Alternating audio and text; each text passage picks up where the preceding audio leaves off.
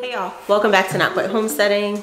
Today we're in my kitchen and I'm sharing another Azure Standard haul with y'all. So I wanted to share the things that I'm continuing to buy from Azure and I, I will talk a little bit about um, some of the things that I purchased the last time, not all of them, but um, some things that I really, really, really liked and some things that um, I was kind of like maybe not so sold on.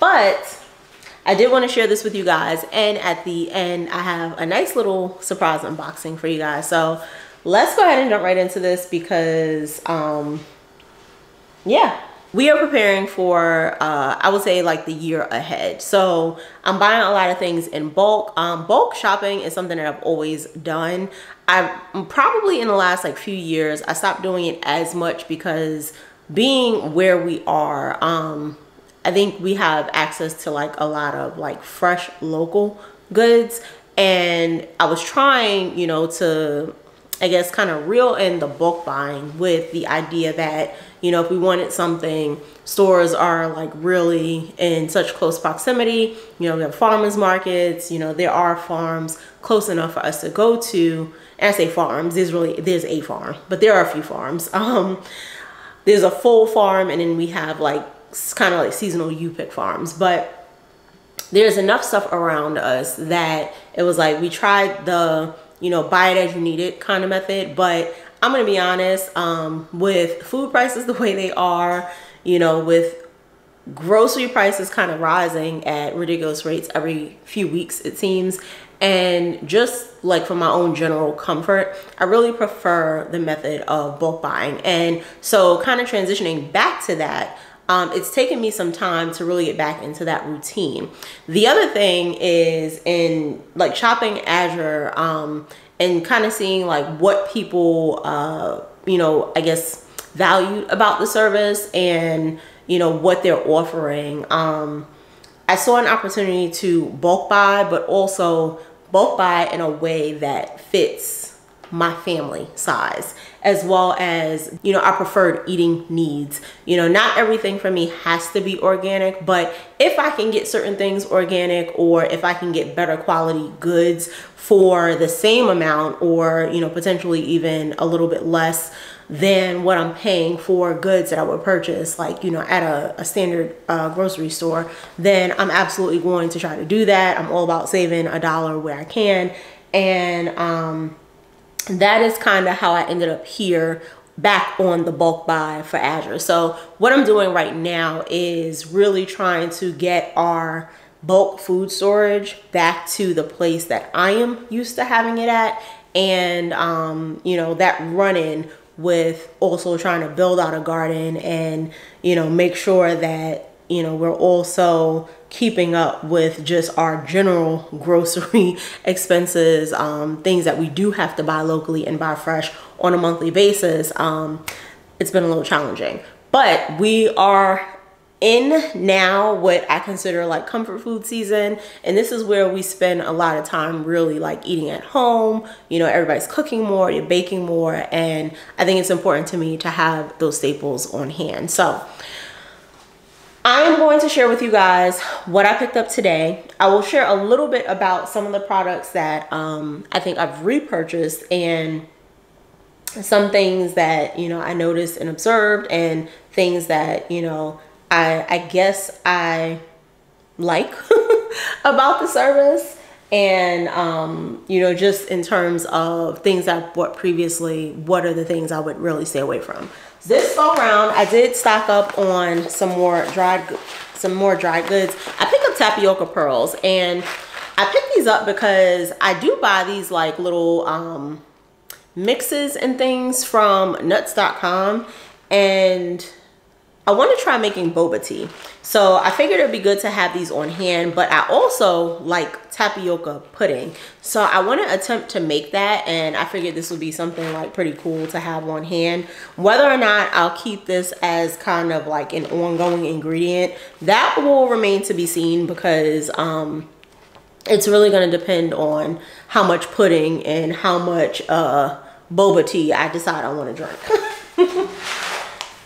I picked up some raw hazelnuts and I wanted these because while I don't typically eat hazelnuts, just like to eat them, um, I do like French vanilla syrup as well as um, there is a French vanilla like granola recipe that I make that is like out of this world and I wanted to see if I could go ahead and um, in addition to having these for baking be able to make my own French vanilla like syrup so that I can always have that on hand to be able to make the things that I like to make with that. I'm not really big on flavored like coffees like hot coffee anymore. That was something I did when I was much much younger but I do from time to time like to do like cold brew or iced coffee and I really like those flavors. So if it's like cold coffee, I tend to like lean more towards like flavoring, but um, not so much in hot coffee. So variety of uses for these and um, I imagine I will eat some fresh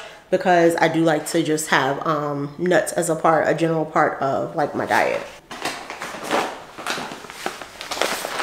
I picked up some pumpkin seeds. Pumpkin seeds, um, I don't really eat these either as just like a general eating nut, but I do like to bake with them. Um, these would be good for me for like yogurt, like that kind of stuff to top them off with and or, you know, maybe top off like a baked good or a soup or something.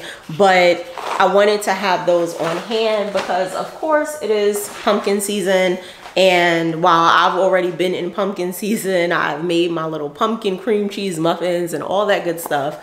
Um, I haven't done my pumpkin spice, what is that thing called? Like my pumpkin spice creamer. So I do want to do that, but you know, we're we're in it and I do want to enjoy it while we're here before cranberry season gets underway, which is I think we're kind of in a transition phase right now. I picked up some cannellini beans. So cannellini beans, I also picked up some small red beans and some great northern beans, which I have back here. So I've kind of like rounded out my um dried beans with this purchase. I think the only thing I have left to order are chickpeas, but I did have some chickpeas on hand already, so I didn't see the need to order them right now. I probably will order those in like um, another two months or so when I place my next order. But I referenced just being able to buy like in bulk in a way that suits my family size. So one of the things I really like about Azure in terms of how they set up their bulk, they have like different sizes for you to be able to kind of select what kind of bulk you want. And let's say I'll take like beans for example. Um, I think there are like one of two ways this goes. You can either do like what they have like a uh, in some cases like a 36 ounce bag or something like that, which is about three pounds. So like if you were one person, but you like to like bulk buy, then obviously you don't need 25 pounds of beans. A family of two, we don't need 25 pounds of each individual bean, but they have five pound bags. I think in some cases they may have like 10 pound bags or you can buy like multiples of the five pound bags. And then in some cases they have 25. I'm not sure if the beans go up to 50. I know, I think the, the maybe like the rices or something does to that effect, or maybe it's flour. But being able to say, okay, well, I like to have all these beans on hand, but I don't need 25 pounds of each bean. And sometimes when you buy in bulk, that's kind of like what you're getting. It's either like, you know, 10, 15, 25 pounds, or you end up with something like a case of maybe 20 or 24 one pound packs of beans. So I really, really, and I really, and I mean, I really like the fact that they have these in smaller quantities, but what would be considered bulk for the family size that I have. So it allows me to stock up and store, but not so much that I end up wasting stuff. The good thing about this, and um, one of the things I'm going to be doing is I will be drying, like I will be putting these aside dry, but I am going to um, try something to have them ready. So like I think in some of my, um, I don't know if I mentioned in some of my previous videos, but I do take like beans. Sometimes I'll make them and then I'll put them in a mason jar and like freeze them. So I'll have some ready and available. So I want to um, kind of work on not necessarily having the bag sit around for like the dry beans that can't fit into the containers I have, but instead anything that's left over that doesn't fit in those containers, putting them in kind of like ready to use form so that we can just have them ready for when we need those quick meals. I picked up more cheeses. So I will say having um, tried their cheeses, the cheese is probably my number one absolute love it must have if you're gonna buy anything from them and you wanna buy in bulk buy the cheeses. The cheese that they get, whoever is producing the cheeses for them, when I say the flavor, the softness, the melting quality does not compare to anything that you get in the store. And I will say there are brands of store cheeses that I really like. Um, Cabot is one of them. Of course, like Cracker Barrel has been around for a long time. I have zero issues with Cracker Barrel cheeses, but I, I do really like Cabot cheeses and you know I even like Sargento as a brand. Like I like their cheeses. But honey when I tell you the melting quality on these cheeses the flavor on these cheeses are top notch and absolutely absolutely worth the price. I bought the um Monterey Jack cheese as well as um, some Havarti cheese. And the Monterey Jack cheese I had this in my last order that cheese. Now i like i like these typically for just like snacking like monterey jack cheese. I will put these sometimes in like queso or something like that but when i say the flavor on this cheese i don't think i've ever tasted monterey jack cheese it's flavorful and um, when i put it in like i think we had made like taco bowls or something like that and then um, you know something else that was it was like a, a Mexican style dish. I was so so pleased with those. I picked up a five pound log of mild cheddar cheese.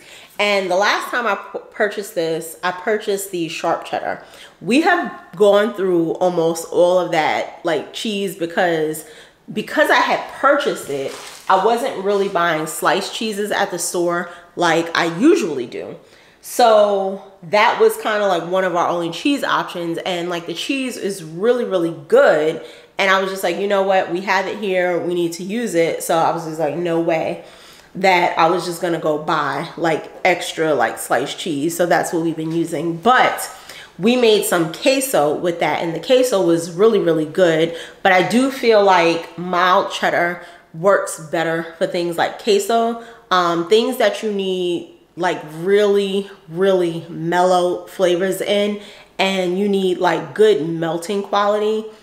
Um, sharp cheddar can sometimes be a, a, tad grainy because it is a really sharp, stiff cheese.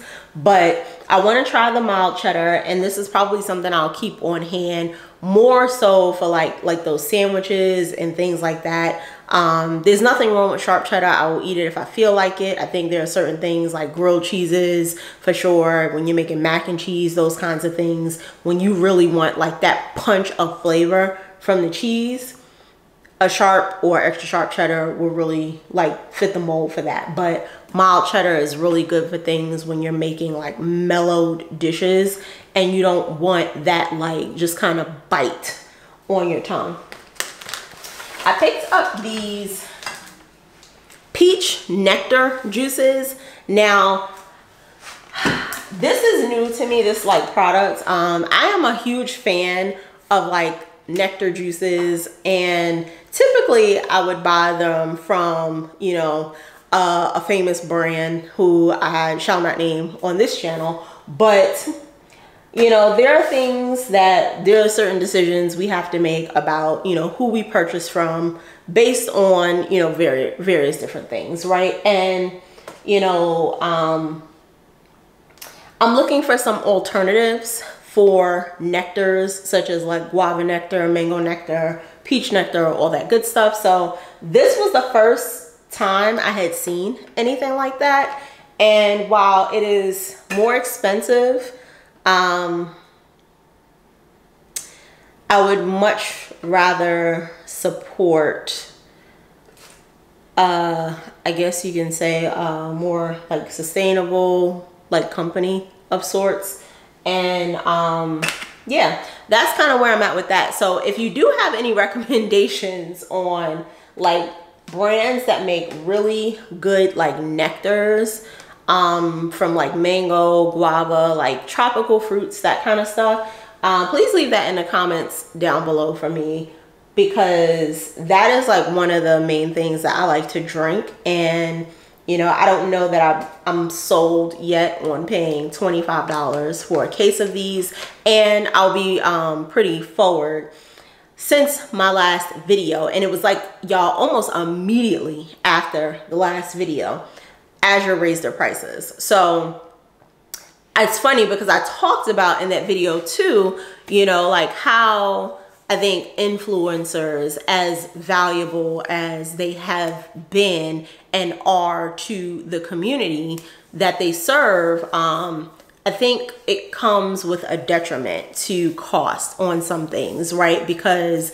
we create this demand for products and then as a result, you know, companies end up raising their prices because now they're trying to meet this demand that they weren't used to meeting, which puts more strain on their, um, you know, labor chains. It puts more strain on their supply chains and the people producing the products. So, you know, now they're starting to have to produce at, I guess, like a faster pace, as fast as they can for not ruining the quality of the product. And then, um, you know, trying to meet those demands. And, you know, it kind of forces those prices up, of course, and then not barring like any economic circumstances that are going on. But saying that to say, if you were interested in Azure, um, do note that they have raised their prices since my last video, since my last purchase. And, you know, it is something to consider while um,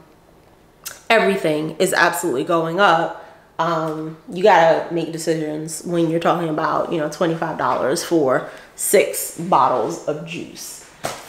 I picked up this Safe Catch tuna. So this is, I've never had this. Um, this is non-GMO project verified. Um, I didn't even know this part, but it's, I guess, American Pregnancy Association, the official tuna. So I guess if you needed like, you know, protein or something, I know that like um, when you're, you know, having a baby, there are certain things that you might be limited in eating. They're pointing out that um, I guess that they're safe for uh, pregnant women to eat. It's Whole 30 approved and it's certified paleo. Um, the other thing, which for me, this is like critically important to me when I'm buying seafood, that it is sourced sustainably. Um, and one of the things I look for, and it's not 100%, but any seafood that is of good quality should be traceable y'all. So if you didn't know that if you're someone that likes seafood um, seafood should always be traceable. If it is not traceable it is probably not good quality. But there is an organization um, it's it's an MSC certification and it's basically you know an organization um, that certifies that however the food is sourced it is being done in a way that it is not detrimental to our ecosystem. Um, they have, in recent years, they have definitely started to include like farm raised like fisheries. Um, I am not a huge fan of farm raised like fishes. The only knowing knowingly like farm raised fish that I eat is catfish and um, you know, if you're not aware of that, that is the only way that fish is allowed, like catfish is allowed to be sold in the U.S. Um, if somebody ever proclaims to you that catfish is wild, um, just don't eat it. so that's one of the things that's important to me. So I've been looking and testing out like um, tuna So they had this. It was something I wanted to try, and it's funny because I start building my cart like immediately after I do my purchases and when I put this in the cart at first it was one price and then of course I ended up paying more for it because they raised their prices in the middle of that. But um I'm test I want to test this out. I'm testing out like Aldi's like brand of skipjack tuna but I do look for um pole line caught you know definitely sustainable fisheries and making sure that we're not we're being friendly to um the ecosystems that provide us food.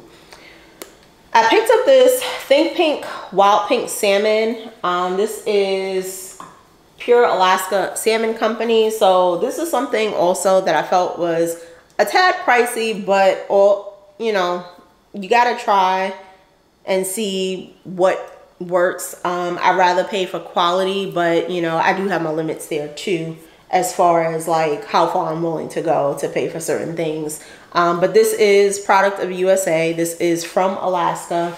And pink salmon is something like canned pink salmon is something, well, pink salmon is something you, you really only get in a can.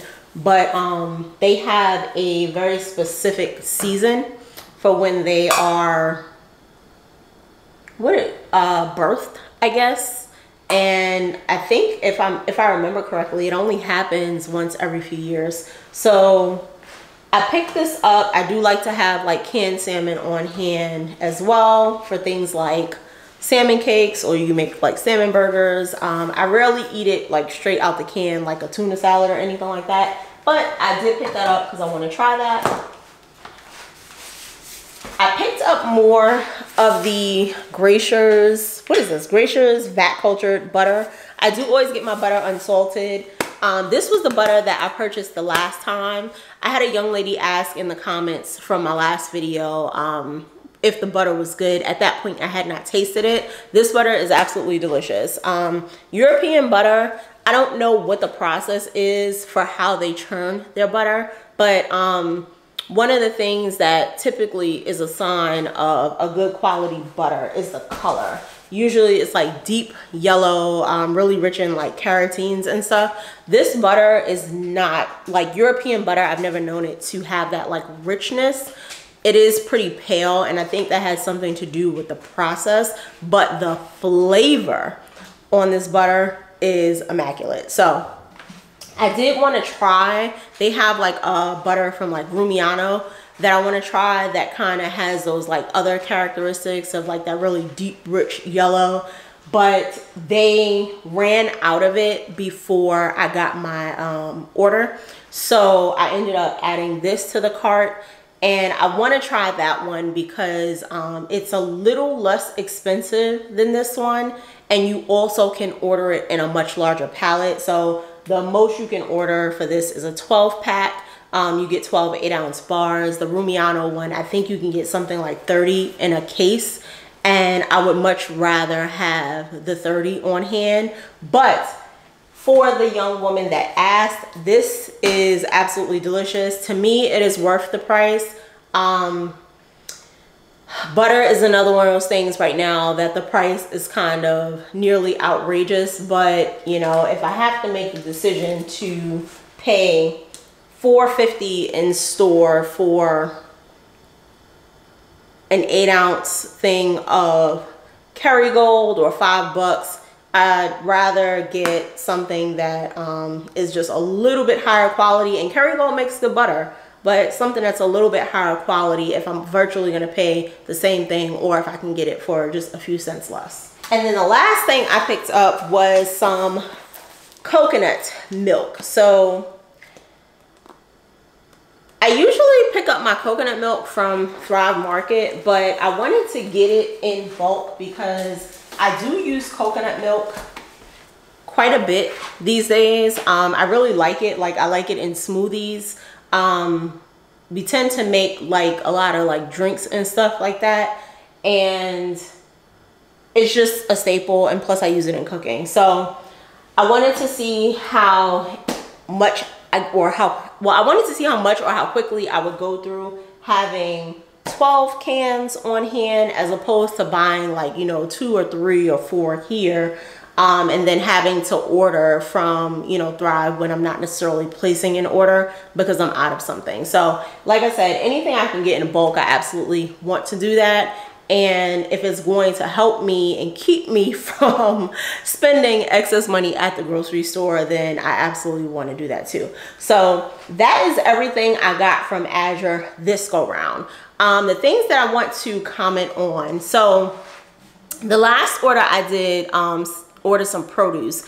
And I did make a comment that you know I'm not really certain that the produce are a wise buy from them if you live on the East Coast, especially if you are in a situation where you can get locally sourced fresh produce. Now that may not be for everything because they do have like um, crates of fruit that they sell and I'm sure some fruits travel much much better than others. So I'm sure if you're ordering like citrus or apples or you know peaches or something like that, things that are picked um, either ahead of their like ripe period or that are hard skinned, I'm sure those will be fine.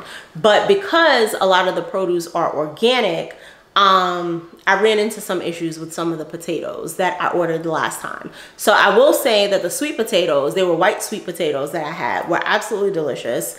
The yams were absolutely delicious. Um, the Murasaki sweet potatoes, I think the quality of those, they weren't, they didn't really meet my expectations. Um, they started going bad a lot quicker than I was actually expecting. So I don't I won't say that I wouldn't order them again. I probably wouldn't order as many as I did if I did order them again.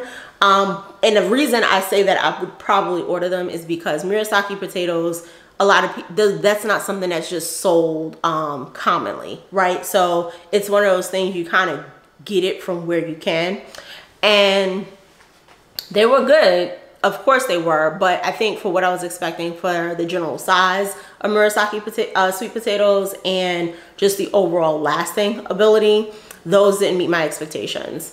The red potatoes, those actually held up pretty well and I think I still have some, so let's take a look at them. So I finished one bag. This is the second bag. Now I bought those potatoes in what, August? It is October.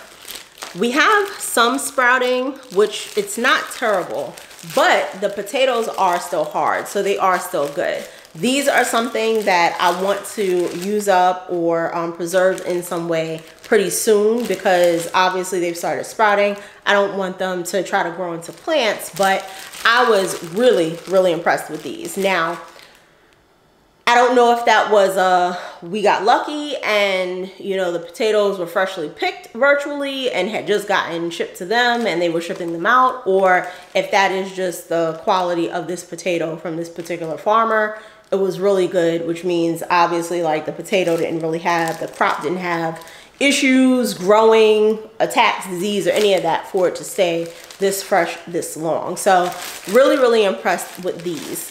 Um I think the purple potatoes, those were not my favorite. I would not order those again from them. I think I struggled with the size on those potatoes, but also those were pretty much like the first ones to sprout and go bad. We didn't even get to eat all of them. And that was kind of disappointing because they weren't even around for two weeks before I had to like really throw them out. So there were some products that were really really good and there was some that I was just like you know I don't know if I would purchase this again. But overall I will say the experience that I've had purchasing from them so far has been really good.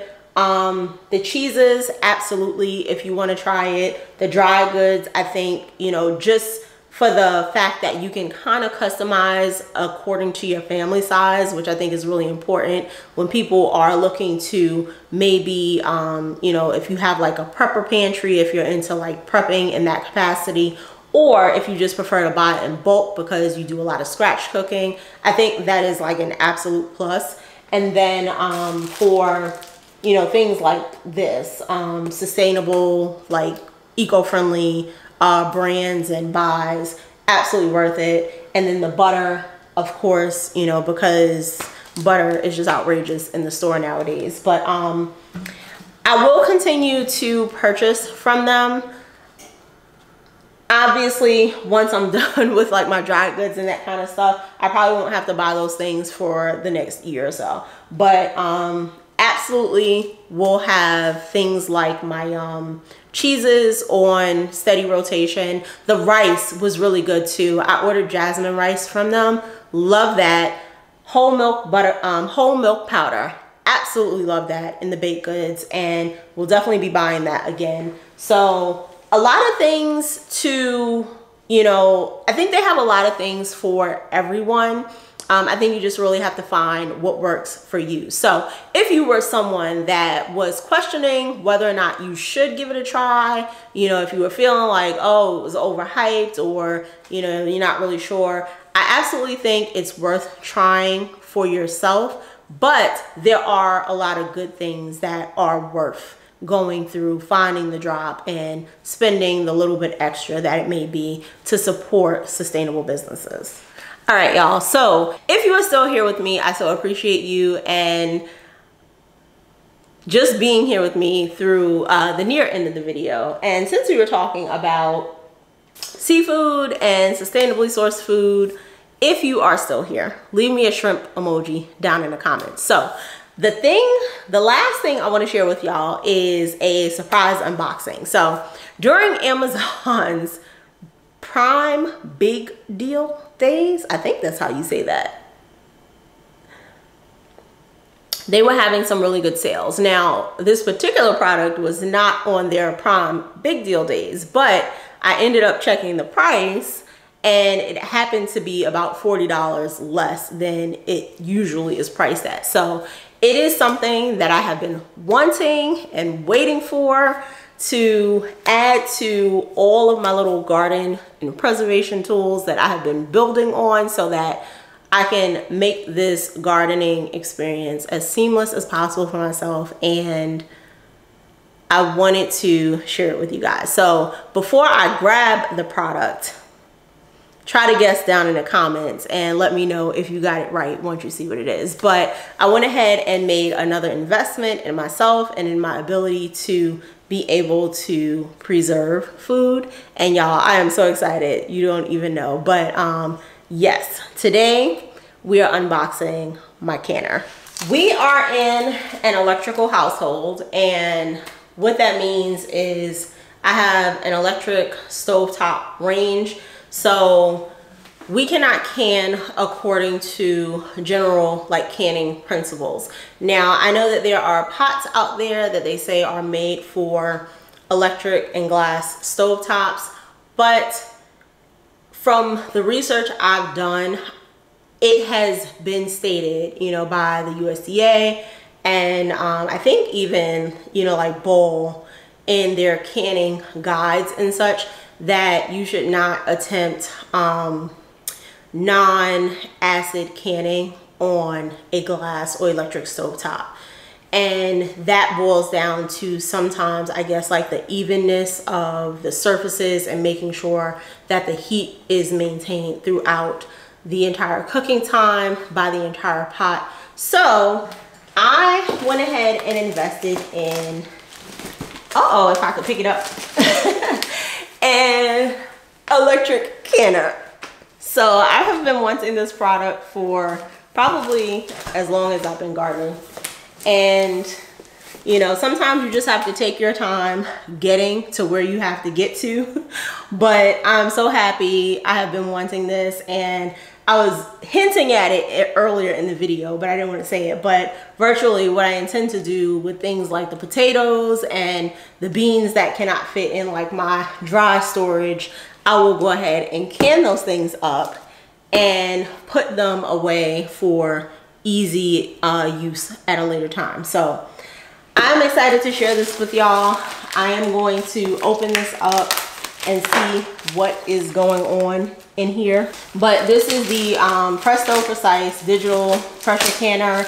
Um, it's 12 quart capacity. So I think that it holds, if I'm not mistaken, seven it might actually be like five. Five, it's either five or seven. Um, it's, it looks like five from the box. of the quart jars. I think it's seven of the pints. And I think if you're doing anything smaller than that, I don't know if it's recommended to do that or not. But um, I imagine if it is, you could probably get more of them in, possibly even double sugar. But don't quote me on that.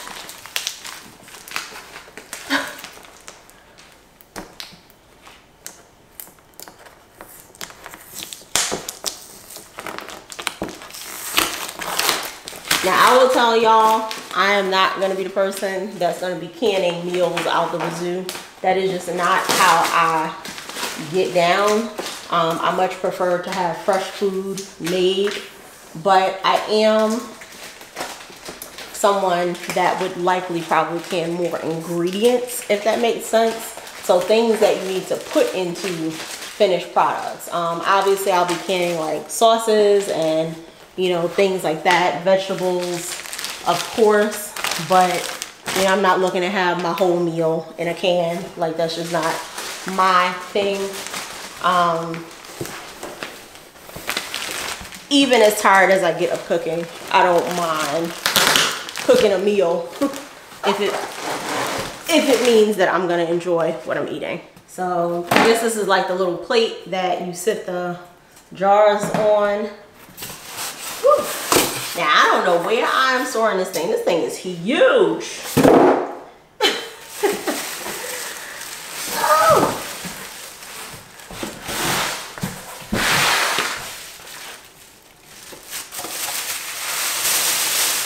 But I'm also excited about having this to do preservation with. So